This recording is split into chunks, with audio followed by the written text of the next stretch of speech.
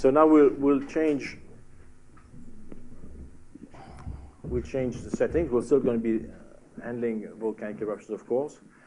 But one thing I would like to, uh, we're going to use the same kind of arguments that I've been using before, simple arguments, and then we'll back them up with, uh, with equations if need be. But so we'll start with this. This is mostly going to be driven by observations. And uh, one thing that I think has been uh, uh, neglected in the behavior of volcano is the buildup of a volcanic edifice. It's not a buildup of a lava flow, it's a buildup of an edifice. A volcanic edifice like this one, this is Mount Adams. Mount Adams rises something like two kilometers above uh, the original Earth surface before the volcanic activity erupted in that area. It's a beautiful volcano. It's ex ex ex extinct, extinct now, but it's linked to uh, Mount. Helens and other, and other volcanoes. It's been heavily studied, and it shows very interesting features. So it's extinct for, it's been extinct for uh, about 100,000 years, if I remember correctly. One thing we, uh, we have to remember, uh, this is a typical uh, magma differentiation series. For those of you who are not petrologists, uh, these, these are a series of lavas that are simply produced from one another by fractional crystallization. You start with basalt, you crystallize it. When you crystallize it, you have dense mafic cumulates. These usually will settle to the base of a reservoir, will generate uh, an, what we will call an evolved lava. This andesite might also crystallize, settle some heavy minerals. Then this will derive dacite, and then right, the, no, the names are not that important. You can figure out what the differential trend is by looking simply at the concentration of uh, SiO2, silicate oxide.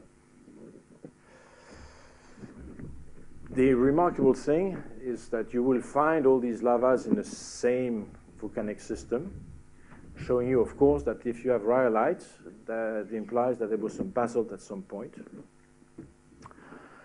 And the other thing that's important is that uh, you will find usually basalt at the surface, and the question is, what makes uh, basalt stop somewhere to produce a rhyolite? That's an important feature. Why do eruption uh, occur at the surface with basalt, and then uh, after some time you start building up an edifice, and then you are rhyolite. And that's the questions I'm going to ask today in this talk. The other thing that you have to know is that I'll show that later on. There's a change of viscosity across that compositional range. Basalt are the most fluid lavas, rhyolite are the most viscous lavas. But there's also a change in density, and this is a typical density. You can see that, of course, a basalt is not a single liquid. It's a family of liquids over a certain range of composition, and that's the density range. The important thing is that it goes down as the uh, as you go up the differential series. The most, the more evolved the magma is, the less dense it is usually. You will notice that I've not accounted for volatiles, and we'll introduce them later on but I will talk only about dry magmas. Volatiles are an, an important feature, but uh, not for not that important for what I'm going to talk about today. And density has got to be compared with other types of densities. The average crust density, we know that from gravity studies, etc. It's about 2.7. So this is telling you something that you would have already known if you had looked at the field, is that the basalts are able to rise through the crust because they are just about the same density, usually slightly less dense. So basalt can make it to the surface, and in many uh, volcanic systems, they do make it to the surface. On the other hand, if you have an old or on a continent, are with sedimentary rocks, or fractured crystalline rock, fractured crystalline rocks is rocks filled with uh, fractures of uh, filled with water, so it's less dense. If you have built up a superficial cover, supercrystals, they're usually less dense, and they can be uh, uh as low as 2.35 in density. You can see a basalt will be able to rise through average crust. Will not be able to go through these uh, shallow systems. So you can see that the, the density difference between magma and surrounding rock may be positive or negative and may change sign during transport simply because you will encounter rocks of different densities. So that's an important feature to Now, if you look at the, sorry. The other thing that you have to know about a volcanic system is that there's a, usually they end up building big volcanic edifices, much thicker than individual lava flows. Shield volcanoes, stratovolcanoes. The shield and stratovolcanoes are different because of their slopes. Shield volcano is a small slope. They derive their name for ancient uh, shields, or if you like, uh, Game of Thrones and stuff like that. So that's a shield. Uh, stratovolcanoes, uh, they do, not show up in Game of Thrones, but anyway, there are much uh, steeper slopes. That's an old shield volcano on continents. They occur on continent oceans but you can see how large they are. The radius extends to uh, this particular case to 24 kilometers, big, big lateral extent. Height now is uh, less than it used to be because it's an old volcano that's been uh, eroded away quite a lot, 800 meters. Mount Adams, radius 10 kilometers, height uh, about 2.5 kilometers. What I'm going to show is what matters more, more than anything else is the radius, and we'll see why. So these things uh, represent large loads on the surface the loading has got an effect on the stress distribution. And this is uh, mostly what I'm going to talk about in this uh, lecture. If we look at what happens, look at Mount Adams, it's a beautiful graph. That's a, an ancient volcano. It's, it's dead now. But uh, we can see uh, the, as time evolved, this volcano changed and it changed how? It changed because it started erupting more and more evolved lavas. And uh, the erupted lavas through some events became increasingly with evolved with time. So initially you had basalts coming out of the system, then you build up an edifice, and eventually you started to erupt. I'm sorry, you can't see the difference between andesite and dacite. There's a dacite flow here. There's very few dacite flows in that system. But then it started to erupt andesite. I'm sorry, this is in French, so the big translation you look at your dictionary, basalt with an E is French, and basalt without an E is English. And andesite with this uh, accent here is French, and andesite without this is English. And dacite, you're fortunate, no difference. Uh, so anyway, so initially you had lots of uh, basaltic lavas coming out, and then you started to erupt andesite and dacite. Of course, if you erupt these evolved lavas, this implies that the reservoir has formed. But why is it that we had basalts coming out? And why is it that the basalts eventually were prevented from coming out and generated evolved lavas?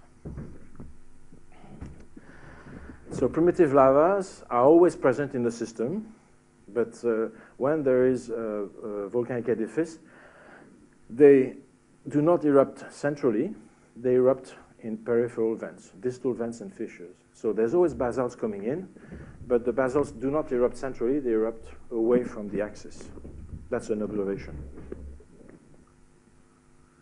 Just an example, post-glacial period, which is nicely studied because the glaciers have just uh, uh, eroded the edifice, so you can build up some stratigraphy of that. Uh, there's one summit andesite, so that's an evolved lava.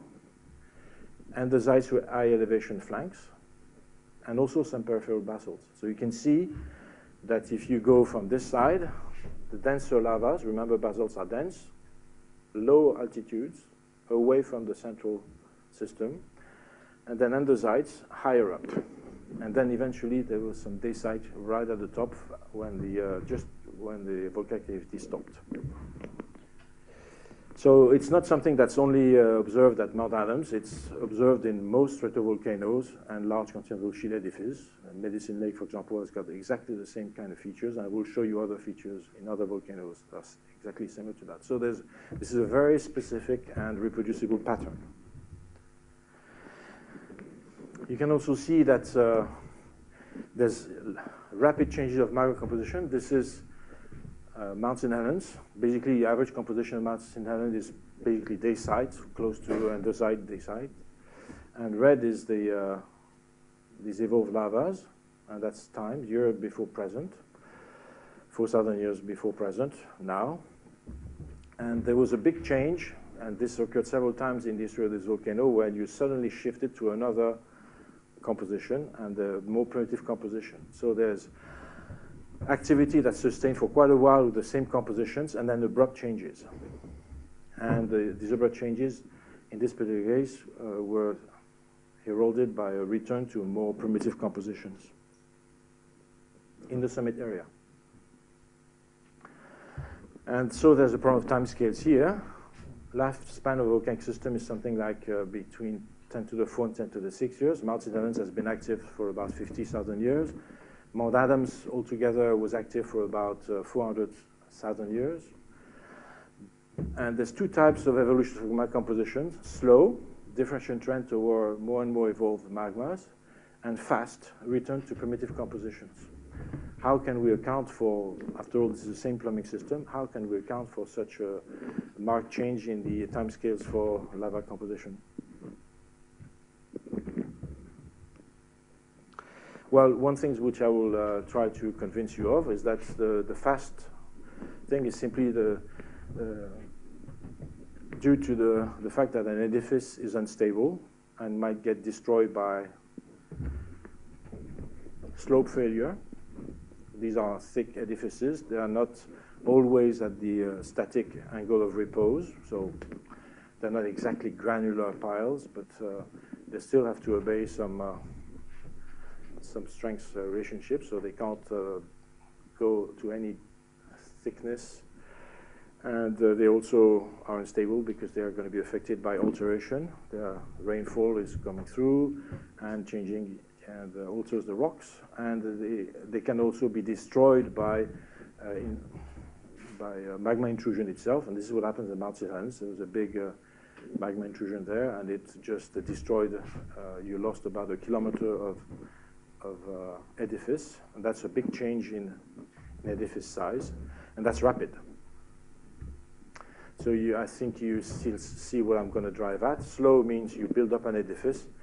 Fast, you destroy it. As you build up the edifice, you build up pressure. Pressure prevents lavas from reaching the surface and pre prevents primitive lavas from reaching the surface. You destroy the edifice, you can erupt primitive lavas again because you just uh, uh, dispense with the load that was applied to the, to the crust. So when there's an edifice, no summit eruptions of basalts, primitive lavas, and at Mount St. Helens, you can check, that's observation. What happens there? Well, there was a change, a rapid change, but we know the edifice got destroyed. And there was a big landslide. slow failure, that's not clear because that's an old uh, deposit, but we see, uh, we see the edifice was completely destroyed, and we see, of course, the deposits that came out of this destruction. And the consequence was that a return, a very fast return to basaltic primitive lava compositions. That's an observation. And this is, again, not something that's uh, only observed at Mount St. Helens or Mount Adams. It's, it's, observed in many other volcanoes, Mount St. Helens, Hawaii, Santorini, and others. So again, this is not something that's specific to uh, one volcano. It's something that is quite uh, general. So what I'm going to uh, go through in this series of lectures is what is the stress field due to loading by an edifice? I'm not going to talk a lot about implications for ascent towards the summit because that is something that uh, Dahm has worked a lot on, so I'm not going to step on his toes. And Eleonora has done some work on that too. And uh, I'll, do, I'll, deal a little bit with implications for lateral magma transport.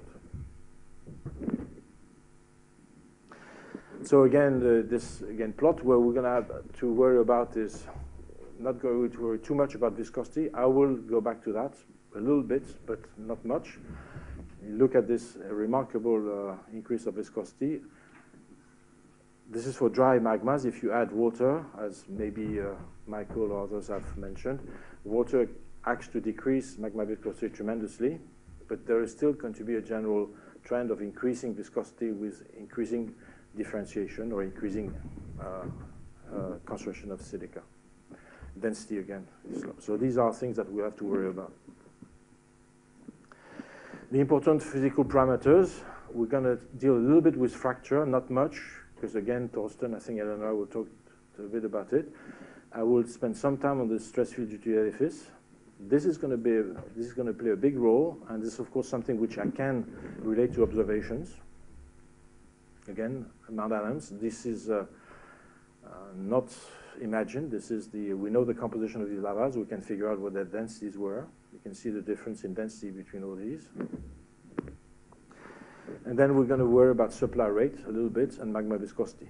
And uh, magma viscosity depends on uh, also temperature and uh, just a, a reminder of that. But we're not going to talk about temperature here today.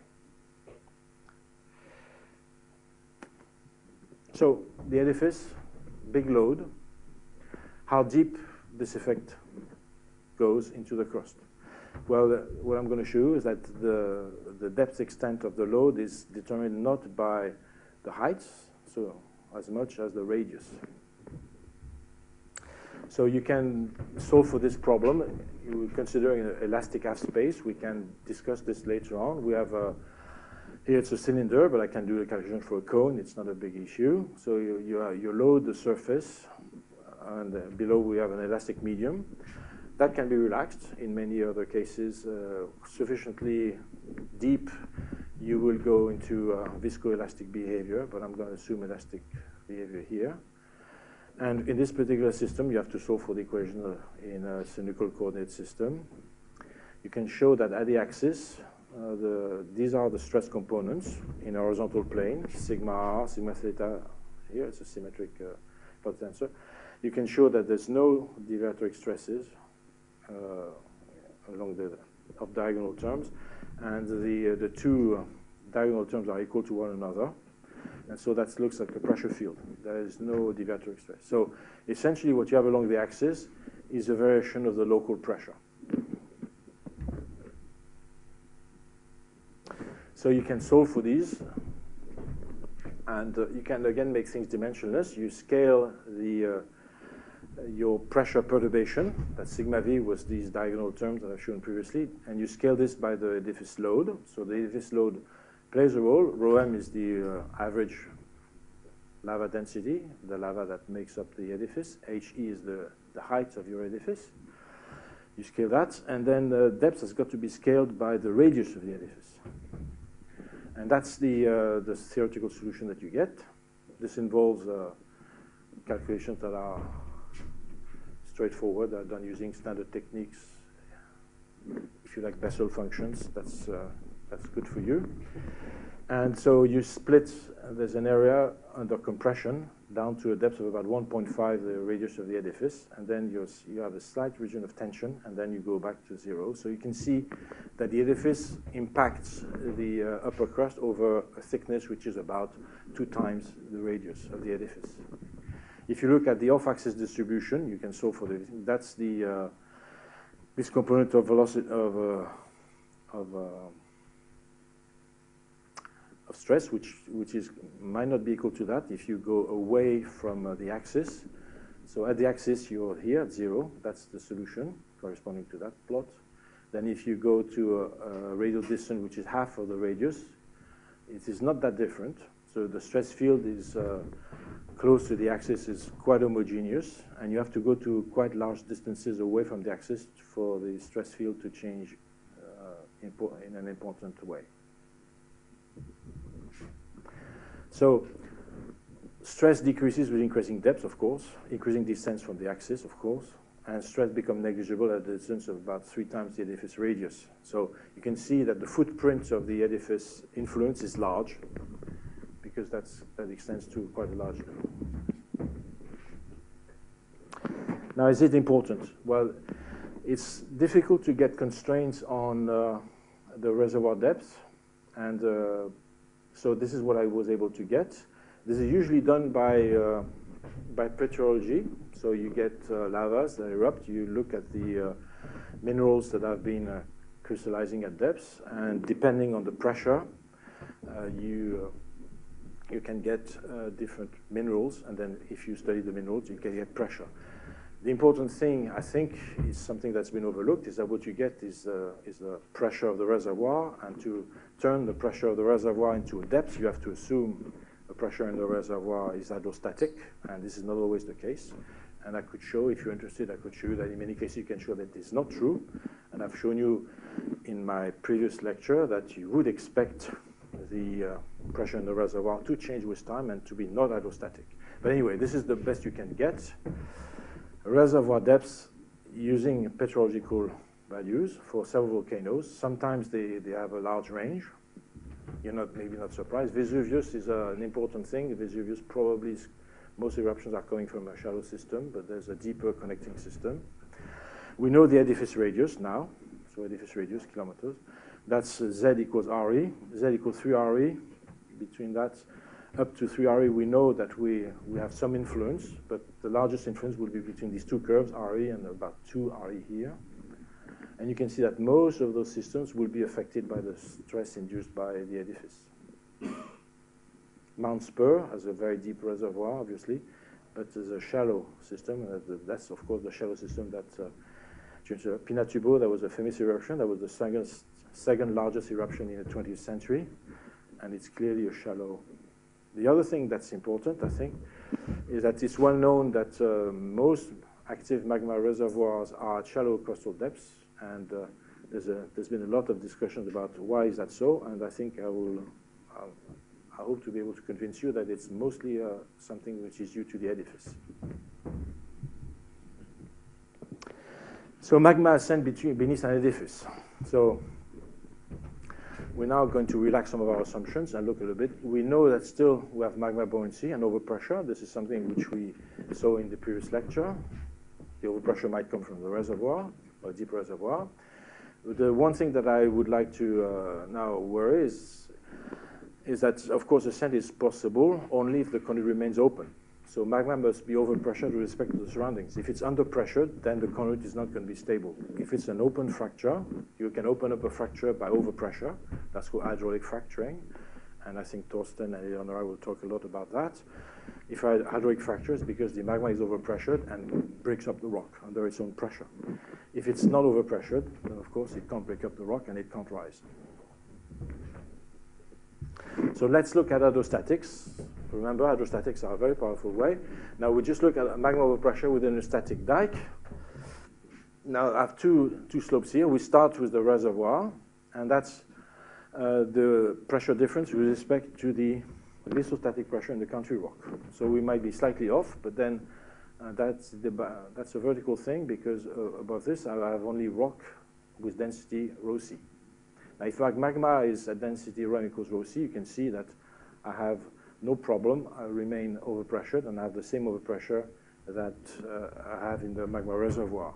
Now, if I've got buoyant magma, if rho m is less than rho c, this is the pressure inside my magma column. And the overpressure is the pressure within the dike or the fracture minus the pressure of the host rock. And you can see that it increases and increases with uh, as you go near the surface. That's important. You can see that in the, under those conditions, you would expect indeed the lava to be able to break up uh, the rocks and reach the surface without any problem. Now you add the stress due to the edifice load. Now, now I'm still referring everything to the lithostatic pressure field. Now I'm adding my stress distribution to the edifice. You remember that curve? And then you can see that depending on the magma density, you have different situations. If this is a very low density, again, the magma is always overpressured. Now the, the relevant stress field is this one because we have the edifice effect. So low density, no problem, I'm overpressured, I reach the surface. At this particular level, I'm just about right because I'm still overpressured by the time I reach the surface. But now, for this particular case, you can see that the magma density is, is too big, and uh, I end up being underpressured, and therefore eruption is unlikely under these conditions. So we can define a critical uh, density threshold, which separates two different cases. Magmas that are less dense than this critical density will be able to erupt. Magmas that are denser than this particular threshold will not be able to erupt. That's a simplified version of uh, what happens. You can, you, you can do more complicated things, but it's a basic story. And you can now get a diagram. I've assumed a, a reservoir at, with some overpressure that's starting depths. This is not very essential. You have to assume that for these calculations, but you can change that slightly. It's not going to change the basic story. And you can separate, therefore, on the basis of these simple arguments, simply based on hydrostatics, you can separate two different fields, one in which the magmas will be able to erupt, and the other field in which magmas will not be able to erupt and will get stored. And so that's magma density. And edifice height. What I would like you to notice is that these calculations are done just as a function of density without paying attention to what are the densities of true lavas and without attention to the true edifice heights that are observed in nature. But in the end, you can see that we are just within the domain that we see in the field. These are edifice heights that we see in the field, and this is the density difference that we also see in the, these uh, volcanic systems. You go from basalt to rhyolite here. So the story is that, of course, if you have a zero edifice height, in this particular case, you can erupt even basalt. And you, we saw basalt at Mount Adams at the surface in the initial stages. But if you start building up the edifice, the basalt can't make it. And the larger the edifice, the taller it is, then the more evolved the magma must be to be able to reach the surface. A very simple diagram. And that accounts for what we see at Mount Adams. Primitive dense basalts are always erupted, but when they are in the edifice, they can't rise within the uh, uh, influence domain of the edifice. They have to go laterally, and then we'll, we'll discuss that later on. Edifice destruction, I've talked about this. If we, of course, destroy the edifice, then you go back to initial condition and you can erupt uh, more primitive magmas. No problem there, and that diagram that I've shown you before accounts for this very nicely. You can add volatiles. It's going to change the picture. St. Helens had about 5% water in solution. So that was the dry diagram, and that's the diagram with water. And you can see it displaces the curve here. Of course, with water, magmas are less dense. And of course, they are increasing less dense because as they rise, they nucleate gas bubbles, and I believe that Michael has talked about that. So that would be the hydrostatic uh, pressure. Calculated on hydrostatic distribution in a column that has some gas. And you can see that displaces this boundary, but uh, again, we're still in the domain that we that is relevant to uh, the edifice that we see on Earth. If you have to draw this diagram on other planets, of course, you have to allow for changes in the gravity field, and therefore the edifice side will be modified. And as you all know, maybe, the largest volcanic edifice on the, the solar system is uh, on Mars, and that's an edifice that rises to about 24 kilometers. 24 kilometers, but 24 kilometers on a planet with gravity that is one third that of Earth. If you scale it to Earth, it's uh, something like eight kilometers thickness, and it's about as high as uh, the largest volcanoes that we see on Earth, which is uh, Hawaii. So you can see that uh, there are differences according to gravity, but uh, if we scale for gravity, then we can see the same type of behaviors and the same type of thicknesses. If we want to look at Adams in this diagram, just to make sure that we are not completely off, the peripheral basalts are there. So they will be able to erupt when there was no edifice, but as the edifice was built up, these basalts were not able to erupt through the center. And then we were able to have flank andesites. So the flanks, the magma is still able to rise, but they can't make it to the top. And the summit andesite is indeed able to make it. So these, uh, these are the true uh, densities that we can calculate from the lava compositions, and you can see that they're consistent with this basic diagram.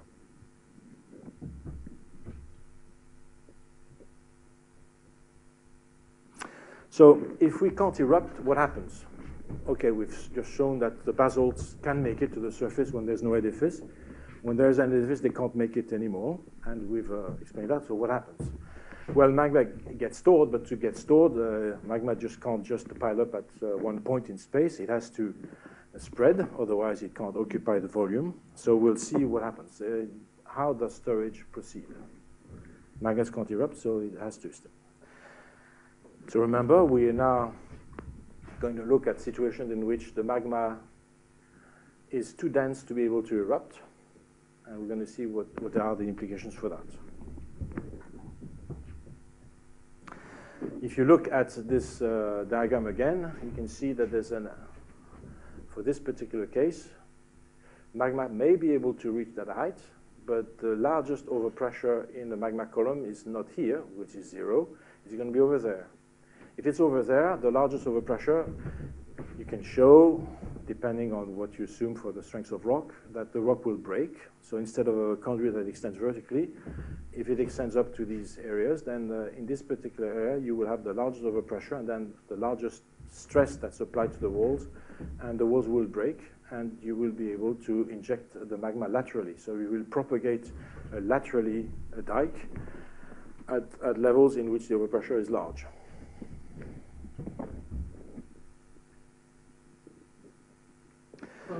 Yes? Dikes go horizontal. Yes, almost.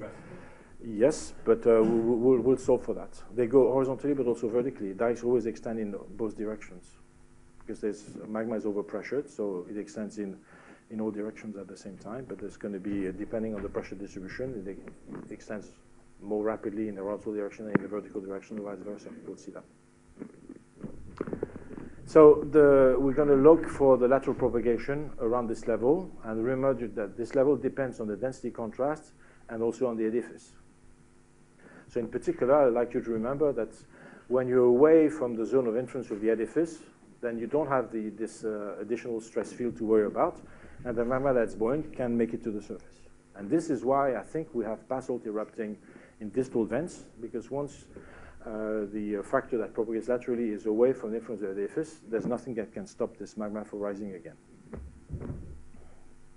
So we're going to deal with lateral magma transport. For this calculation, I'm going to assume there's a density interface that makes the calculation more stable, and you can make this density interface go to a very, the density difference between these two things uh, can be uh, as small as you want, but uh, it makes the calculation simpler.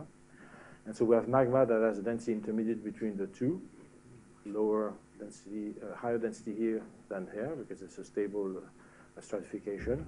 And we'll see how the magma propagates away from a central zone. So this had been solved by John Lister some time ago. We, uh, what we've done with a student called Virginie Pinel, we added the effect of the edifice. So what we have is around this uh, interface, we have a dike which will propagate horizontally.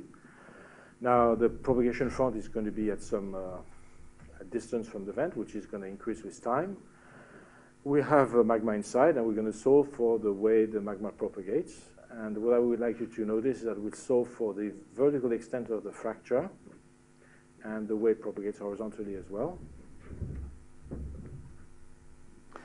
And in, we'll compare what happens with, with and without uh, an edifice. So we can start by statics because the, most of the flow is in the horizontal direction. So we still are going to have a basically hydrostatic uh, pressure distribution within your fracture. So the fracture is open because it's overpressured. And so the pressure in your fracture is going to be the difference in pressure due to the uh, different density involved, plus uh, the stress field due to the edifice. And then if you want to look at the way the propagation works, you have to look at the horizontal gradient of that pressure, which is the, that's the driving force for your lateral magma flow. So you differentiate it with uh, respect to x, and that's what you get. And uh, that's the differential in x. And you can see there's these density differences that comes in, and of course the gradient in the uh, stress uh, field due to the edifice. Same thing above and below above and below you have different densities because here you have a density of the uh, upper medium and density of the lower medium, uh, but that's basically just hydrostatics. So if you calculate over pressure, it's an elastic medium, you can figure out the crack width. That's simple elastic theory. Then to close the problem, you have to figure out what happens at the uh, stresses edges. And uh, we use what is called the linear fracture And uh, we specified that the, uh, I'll come back to that if you want to, you have to, you must, you need a boundary condition to uh, what happens at this edge, and we assume that there's no uh, toughness for the rock. The rocks are, have been weakened, and so we assume that. It's not a major factor here, but if you want, I will, uh, we'll come back to that later on. But you need a, a closure condition for the, the two ends here for the, this fracture. So then you go through the same kind of uh, Navier-Stokes equation. Uh, you solve for Navier-Stokes equation. You, uh, you may recognize things that are very, are very similar to the equation that we had for lava flow. It's the same thing, which uh, then are going to be uh, used to derive the thickness of the fracture as a function of time and, and distance. If you, uh, we're going to use solutions for a constant in, rate of magma input. Uh, you can do any uh, input rate that you want to, and uh, there are good reasons in nature for why the input rate should vary with time, but we're not going to go through that. And without any uh, John Lister was able to uh, give you uh, analytical solutions that show you that the front propagates as time to the 8 over 11th power, and the thickness of your dike is proportional to t to the 1 11th power. You can see that this is the thickness of your fracture is not increasing rapidly with time. I'll, uh, in the handout I will give you, the handout will give you the references for these uh, equations. So we're going to compare what happens. So the basic problem is don't worry about fracture, the, the ends of the fracture. The important thing is the fluid mechanics here. We're going to compare what happens without an edifice and with an edifice. The edifice is uh, over here, it's a small part. And we inject, so the radius of the edifice is, uh, you can see, uh, 1. Here there's no edifice, but we'll still scale the same uh, distance. It's in French, so that's lateral position, okay? Elastic pressure, profondeur is depth. And then we're going to see, we're gonna, and time is made dimensionless. That's a time scale that you, uh, that's related to the flow, and that depends on viscosity. So we start propagating, and now we've reached one. So when there's no edifice, you can see that because, of course, uh, we're driving the flow laterally. There's always more pressure at the inlet than away, so the, the fracture extends vertically uh, more at the x equals 0 than x equals 1. It's just a reflection of the lateral pressure difference. But you can see here that uh, we, uh, we had a small thickness here because we had the additional, these are exactly the same condition, but we had, the additional uh, stress field due to the edifice. So the fracture here was uh, uh, could not extend to the same height as before. And at the same time, of course, we've, uh, because it's the same time, we've injected more magma, so the fracture is actually propagating a little bit faster. Instead of having one here, it's at two, because we have the same volume, and the same volume uh, could not be fit into a, a, tall fracture, so it had to be fit lateral. Now you can see, of course, that as you move away from uh, the edifice, the uh, pressure due to the edifice decreases, and hence the uh, fracture can grow taller. So this is the story of everything that's going to happen. You, will see that without an edifice, the fracture propagates. The tallest point is always at the axis when there's no edifice, because this is where the pressure is largest. When there's an edifice, you can see that this is not going to be true. You can see that the fracture will extend vertically, and uh, we're going to go through this. Now I will drive two, these two arrows. The uh, yellow arrow is the dike tip, so that's where the, the end of the dike is. And you can see that this dimension is time of 1, again, that fracture has propagated to a larger distance because it's the same volume that's been injected, but the fissure could not be told here, so it had to be uh, uh, farther away. And uh, the white arrow is giving you the, the distance at which the dike is tallest. So what I would like to notice is that for this particular case, this arrow will always be at the inlet, because that's always uh, where the pressure is largest. But for this laterally propagating dike, this arrow is not going to be at the dike tip. It's going to be slightly remote from the dike tip because, of course, the dike has, gone, has got to uh, thin to zero. So the tallest point is, is not at the front. So we're propagating. Now you can see there's going to be a difference between the tallest part of the dike and the dike tip, and they don't move at the same velocity. So if you monitor seismically what happens, you must be wary about uh, this. Of course, this thing is cracking the rock at all times, but what you have to follow is, of course, the, uh, the location of the uh, shallowest cracks, and this is, um, this is where the uh, erosion will occur eventually. And it's not going to be at the dike tip. Okay, so you can see same story. You can see why now the dike has developed. And basically now you're away from the edifice, and away from the edifice, you can paste that. On top of that uh, basically the solution without an edifice here. You're sufficiently far away so that there's no influence of the edifice. But you can see how the edifice is uh, determining the propagation. It's determining the propagation over a distance which is much larger than the, uh, the radius. Right, so if we look at the uh, location of the eruptive end, we can compare these two cases. So uh, we compare the uh, fracture profiles at different times, t is uh, the time scale, so one, two, three. And uh, with the dashed lines, there's no edifice, and the full lines are with an edifice. And you can see the same story, is that the, uh, at the, uh, with an edifice, the dike propagates farther away, simply because the, you cannot open up large fractures beneath an edifice because of the uh, confining pressure that the edifice imposes. If there's no edifice, the crack will always extend, will always be tallest at the inlet, so you will have summit eruptions, but you won't have distal eruptions. With an edifice, you will have distal eruptions, but the dike will extend to distances that are larger than the site of the eruption.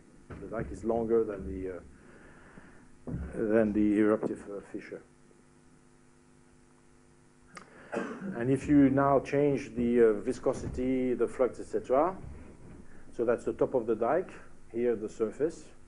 I'm showing you uh, five curves. Now these curves, because there's dimensionless parameters, increasing the flux or increasing viscosity uh, has exactly the same effect. You remember that uh, in the case of the lava flow, it was the same. The thickness of lava was uh, the thickness of lava in the case of a flow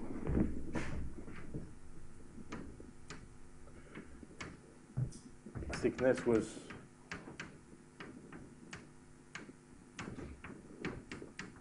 So viscosity and uh, eruption rate have the same effect, and it's the same here. So if you have uh, small flux, small magma viscosity, you can travel extremely uh, at large, extremely large distances away from uh, the axis. In fact, uh, you may not e e even erupt. And uh, if you go to larger fluxes or larger viscosities, then you may be able to erupt. And what I would like you to notice is that the uh, larger the viscosity, the closer to uh, the actual area you will be.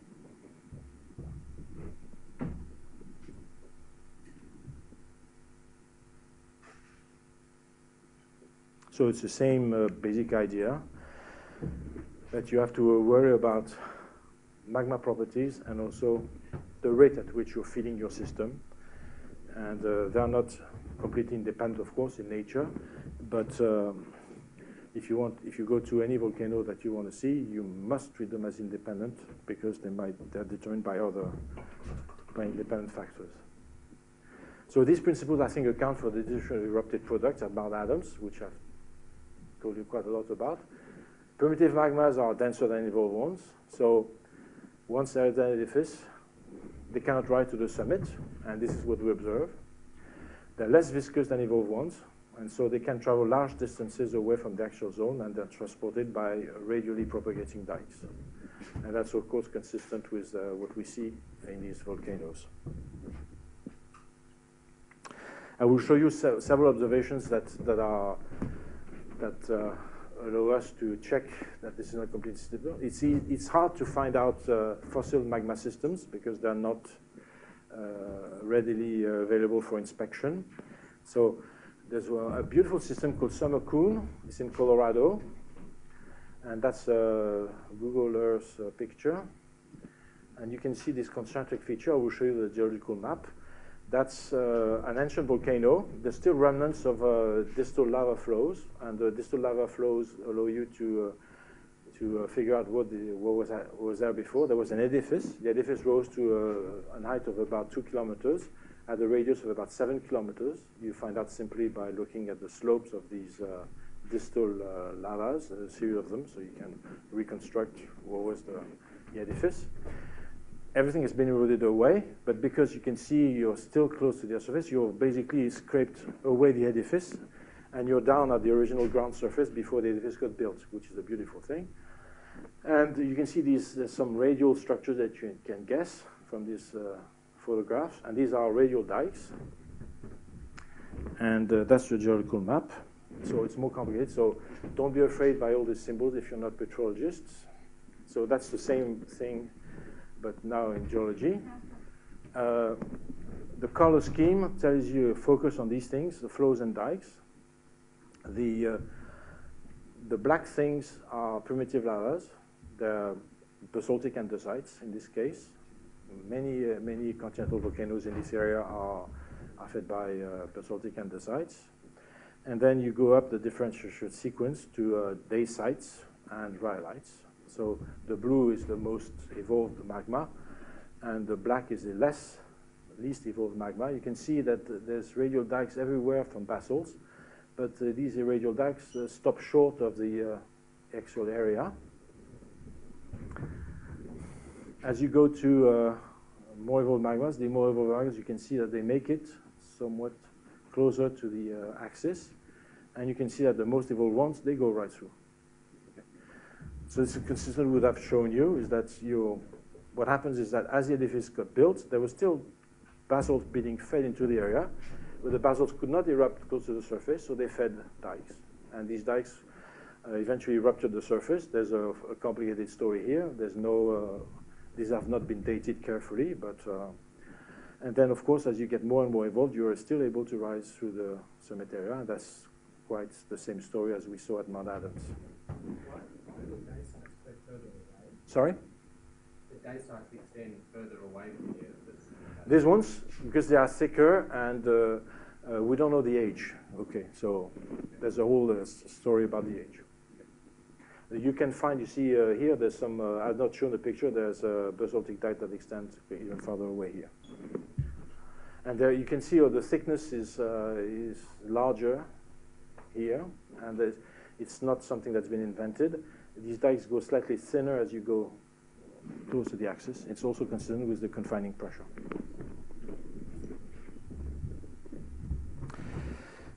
Okay, so we saw that uh, an edifice actually generates uh, laterally propagating dikes, and that's also temporary storage, but is it temporary?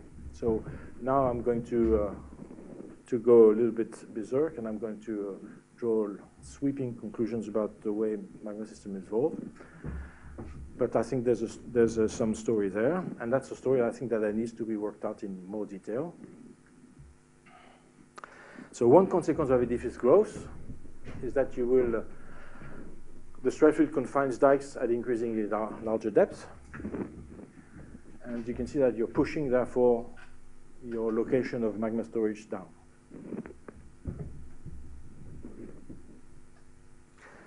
So uh, what could happen, and that is something we, uh, we can and we, we can discuss, and I'll discuss some observations.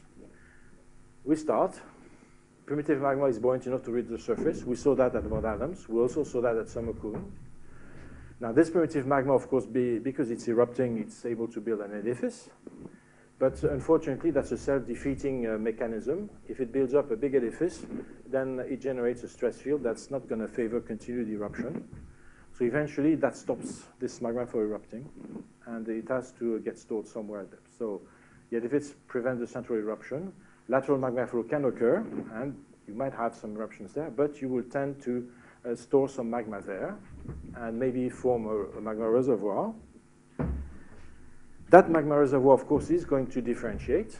Uh, depends on the story between uh, what's been erupted and what's been fed from below. And that is something that we, uh, we can maybe uh, uh, work out with models. And now, of course, uh, if I'm differentiating my primitive magma in that storage zone, I'm producing evolved magmas that are buoyant, and these buoyant magma can erupt again centrally. But of course, these magmas will contribute to growth of the edifice. Then again, it's not going to be good. But uh, the, if you still feed primitive magma from depths, then of course, because now you've got a larger edifice due to the eruptions of these evolved magmas, your new uh, primitive magma storage zone is deeper now. Now, of course, if you keep feeding uh, primitive magma, they can't rise, and they will uh, eventually feed uh, distal uh, fissures and distal vents. And then, of course, you can uh, repeat that sequence and have an edifice growing, etc., etc. You can play the game further. But I think it would be nice to see evidence for pressure variations in your reservoir, and I'll come back to that in a minute. So that's a story that's feasible. There's, of course, many complicating factors, but I think you can see there should be a link between the growth of the edifice and the way you store magma. Now, Mount St. Helens, there was a beautiful data set uh, collected by Jim Gardner and others. So these are petrological pressure estimates for Mount. Helens. So last eruption, 1980, is over here. And you can see this is something that extends as far back as 4,000 years. There's an interesting compositional variation if, but I'm not going to describe. It's mostly dacite, basically.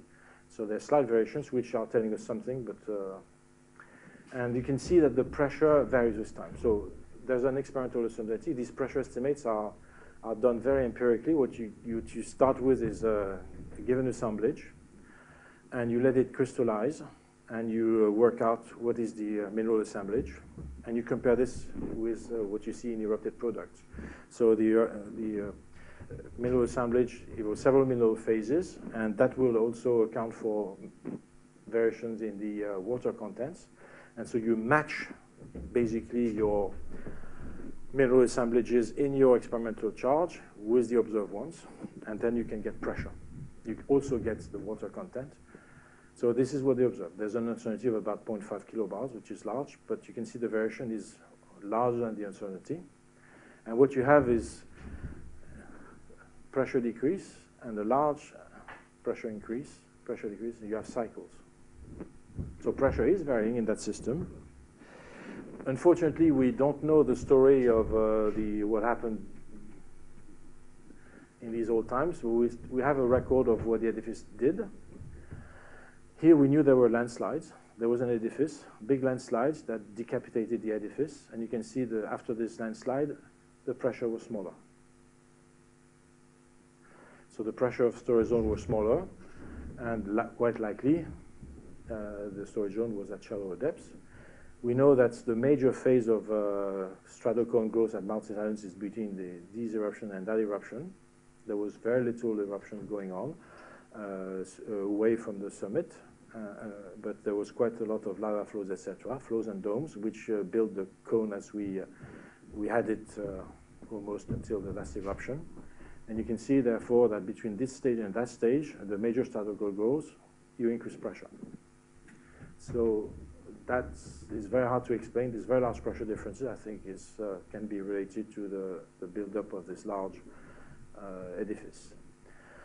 The next thing we know here in that particular case, we knew, again, there was a destruction of edifice there the, between these two eruptions. These, these, two eruptions are separated by a few uh, tens of years. We know that because uh, there's uh, almost no alteration between deposits.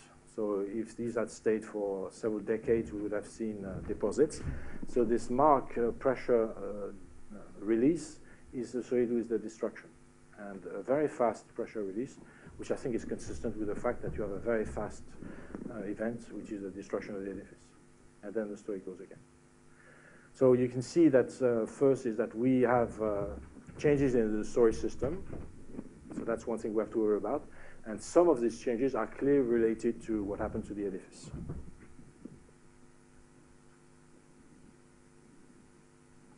And the last thing I would like to see is the system of Three Sisters in Oregon. It's a beautiful uh, set of uh, volcanoes, three volcanoes in a row.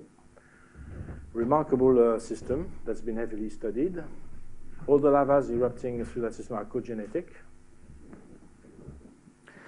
and are beautiful. If you have never been there, you should. So that's south sister, middle sister, and north sister. And there's a nice big lava flow here. And the three cones rise to about the same height. And that suggests, again, some control on the maximum height that the lava can reach. Why would it be? And there's an interesting story, so I'm not going to go to everything, but uh, just the major uh, facts about this. The basic uh, activity started at North Sister. There was a, a shield stage uh, before 200,000 years ago, but uh, when you start having the activity over these edifices, it started about 180,000 uh, years ago. And you build up the cone, as you build up the cone later in the system, you have uh, basaltic andesites, flows, etc. The big stratocone got built uh, uh, to late in that uh, period. And eventually you, you stop the North Sister activity. The cone is too big.